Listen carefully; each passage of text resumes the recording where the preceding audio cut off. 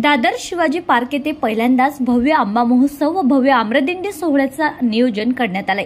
खाद्य महोत्सव आंब्याच्या विविध वस्तूंचं प्रदर्शन व सांस्कृतिक कार्यक्रम अशा प्रकारचं आयोजन करण्यात आलंय.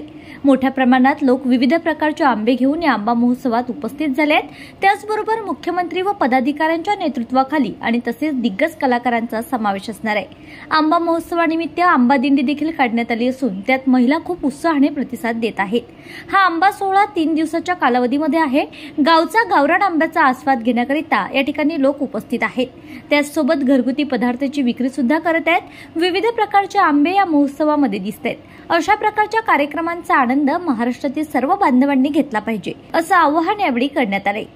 आपल्याकडे तिन्ही दिवस खूप छान छान मनोरंजक कार्यक्रम आहेत.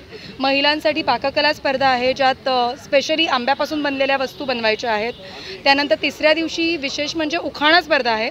या उखाणा स्पर्धेचं वैशिष्ट्य असं की ह्या उखाणा देखील आंबा हा शब्द घेऊनच केलेला असला पाहिजे. म्हणजे जसं उखाण्यात नवऱ्याचं नाव महत्त्वाचं असतं तितकंच महत्त्वाचं आंब्याचं नाव त्याच्यात आहे. ब्युरो रिपोर्ट बातमीपत्र.